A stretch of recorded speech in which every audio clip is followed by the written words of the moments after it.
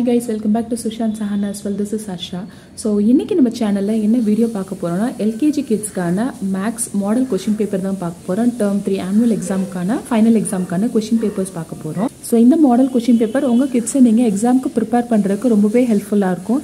And இந்த question பேப்பரோட PDF link description அவைலபிளாக இருக்குது வேணுங்கிறவங்க ஃப்ரீ டவுன்லோட் பண்ணிக்கலாம். அண்ட் சேனலை ஃபஸ்ட் டைம் பார்க்குறீங்க இன்னும் சப்ஸ்கிரைப் பண்ணலன்னா மறக்காமல் சப்ஸ்கிரைப் பண்ணுங்கள் வாங்க லெட்ஸ் see கொஷின் பேப்பர்ஸ் இன்னைக்கு நம்ம பார்க்க போகிறது LKG maths model question paper term three annual எக்ஸாம்க்கானது so இதில் ஃபர்ஸ்ட் கொஷின் நம்ம பார்க்க போது count and write the number of objects இந்த கிவன் பாக்ஸ் ஸோ இந்த கொஷினில் கிட்ஸ் என்ன பண்ணணும்னா இங்கே கீழே கொடுத்துருக்க ஆப்ஜெக்ட்ஸ் எத்தனை இருக்குன்னு மேலே கரெக்டாக கவுண்ட் பண்ணி இந்த நம்பர்ஸில் ரைட் பண்ணணும்.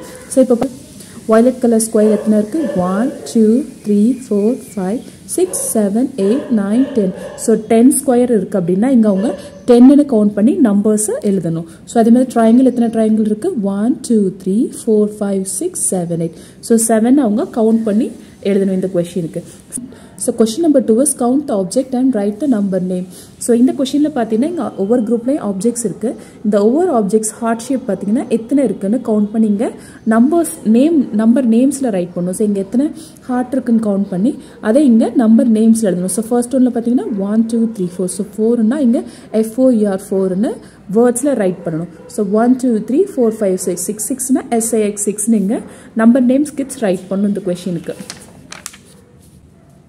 So question number three. Question number three is match the numbers with its correct number names so இது வந்துட்டு மேட்ச் த ஃபாலோயிங் இங்கே ஒரு சைட் பார்த்தீங்கன்னா நம்பர்ஸ் இருக்குது அண்ட் ஆப்போசிட் சைடில் நம்பர் நேம்ஸ் இருக்குது ஸோ கரெக்டான நம்பரை நம்பர் நேம்ஸ் கூட கிட்ஸு லைன் ட்ரா பண்ணி மேட்ச் பண்ணணும் ஸோ ஃபர்ஸ்ட் வந்து ஒன் ஸோ ஒன்னுக்கு இங்கே O N E one so இங்கே லைன் ட்ரா பண்ணி மேட்ச் பண்ணணும் டூனா டிடபிள்யூஓ டூ எங்கே இருக்குது இங்கே இருக்குது ஸோ டூக்கு லைன் ட்ரா பண்ணி.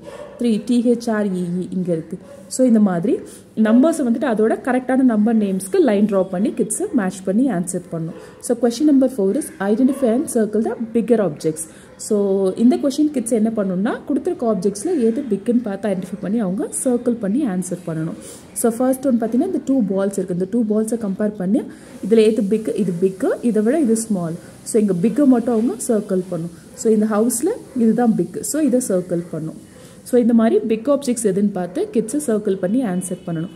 So question number five is identify and circle the small objects so இந்த கொஷினில் கிட்ஸ் என்ன பண்ணால் சின்னதாக ஸ்மாலாக இருக்க ஆப்ஜெக்ட்ஸ் ஐடென்டிஃபை பண்ணி சர்க்கிள் பண்ணும் ஸோ ஃபர்ஸ்ட் இதில் பார்த்தீங்கன்னா டூ சுகர் கேன் இருக்குது இந்த டூ சுகர் கேனில் இதுதான் ஸ்மால் அப்போது இதை சர்க்கிள் பண்ணும். இந்த ஸ்ட்ராபெரியில் இந்த ஸ்ட்ராபெரி சின்ன ஸ்ட்ராபெரி ஸோ இதை அவங்க சர்க்கிள் பண்ணும். ஸோ இந்த மாதிரி ஸ்மாலாக இருக்க ஆப்ஜெக்ட்ஸ் ஐடென்டிஃபை பண்ணி அவங்க சர்க்கிள் பண்ணணும். So next question number six question number six is circle the object that is odd and size so இந்த இந்த கொஷினில் பார்த்தீங்கன்னா கிட்ஸ் என்ன பண்ணணும்னா எல்லாமே சைஸில் இருக்குது ஸோ இந்த சைஸில் டிஃப்ரெண்ட்டான டிஃப்ரெண்ட்டாக இருக்க சைஸை கரெக்டாக பார்த்து அவங்க சர்க்கிள் பண்ணும். ஸோ ஃபர்ஸ்ட் ஒன்றில் எடுத்திங்கன்னா மூணு ரெக்டாங்கிள் ஷேப் இருக்குது ஸோ ரெக்டாங்கிள் ஷேப் மூணுமே ரெக்டாங்கிள் ஷேப்பு ஸோ இது ரெண்டும் ஸ்மால் சைஸ் ஈக்குவல் சைஸில் இருக்குது இது பிக்காக இருக்குது ஸோ அப்போ இதுதான் ஆட் அப்போ அவங்க இங்கே சர்க்கிள் பண்ணும். ஸோ சைஸை பார்த்து கண்டுபிடிச்சி எது டிஃப்ரெண்ட்டாக இருக்குன்னு பார்த்தா அந்த ஆட் ஒன்று அவங்க சர்க்கிள் பண்ணும். ஸோ இந்த ஸ்டாரில் பார்த்தீங்கன்னா இது ரெண்டும் பிக்காக இருக்குது இது மட்டும் ஸ்மாலாக இருக்குது ஸோ இது. ஸோ சீல இந்த ரெண்டு பாலும் ஸ்மாலாக இருக்குது இந்த ஒரு பால் மட்டும் பிக்காக இருக்குது இதோட சைஸ் மட்டும் டிஃப்ரெண்ட்டாக இருக்குது ஸோ அப்போ இதை சர்க்கிள் பண்ணும். ஸோ இந்த மாதிரி சைஸை கரெக்டாக பார்த்து அவங்க ஆட் ஒன்னாக சர்க்கிள் பண்ணணும். Question number seven is tick the object that are arrange from small to big so இந்த கொஷினில் பார்த்தீங்கன்னா ஸ்மால்லேருந்து பிக்குக்கு ஆர்டர் வைஸாக இருக்கிறத பார்த்து கிட்ஸை சர்க்கிள் பண்ணும். ஸோ இப்போ ஃபர்ஸ்ட் ஒன்ல பார்த்தீங்கன்னா இங்கே ஸ்மால் அதை விட கொஞ்சம் பிக்கு அண்ட் பிக்கு ஸோ இதுதான் கரெக்ட் ஆன்சர் இதை சர்க்கிள் டிக் பண்ணும். ஸோ செகண்ட் ஆப்ஷனில் பார்த்தீங்கன்னா ஃபர்ஸ்ட் ஒன்று பிக் ஸ்மால் ஸ்மாலஸ்ட்னு இருக்குது ஸோ இது கிடையாது. இதுதான் ஸ்மால் டு பிக்கில் இருக்குது ஸோ அப்போ இதை டிக் பண்ணணும். So question number eight is complete the pattern so இந்த கொஷினில் பார்த்தீங்கன்னா கரெக்டான பேட்டர்ன் ஐடென்டிஃபை பண்ணி அவங்க இங்கே பேட்டர்னை ட்ரா பண்ணி கம்ப்ளீட் பண்ணணும். ஸோ இதில் ஃபர்ஸ்ட் ஒன்ல பார்த்தீங்கன்னா ஏபி பேட்டர்னில் இருக்குது ஸோ எல்லாமே ஸ்கொயர் தான். Yellow indigo yellow indigo yellow அப்போ இங்கே என்ன ஸ்கொயர் ஸ்கொயரில் என்ன கலர் வரும்? இண்டிகோ வரும். ஸோ ஏபி ஏபி ஏ இங்கே பி வரும். ஸோ இது பார்த்தீங்கன்னா square circle square circle square அப்போ நெக்ஸ்ட் என்ன வரும்? அகைன் இதுவும் ஏபி பேட்டர்ன் தான். சர்க்கிள் வரும். ஸோ இது பார்த்தீங்கன்னா ABB pattern so square triangle triangle square triangle triangle so இந்த மாதிரி பேட்டர்ன் என்னென்னு கரெக்டாக ஐடென்டிஃபை பண்ணி அவங்க இதை கம்ப்ளீட் பண்ணணும்.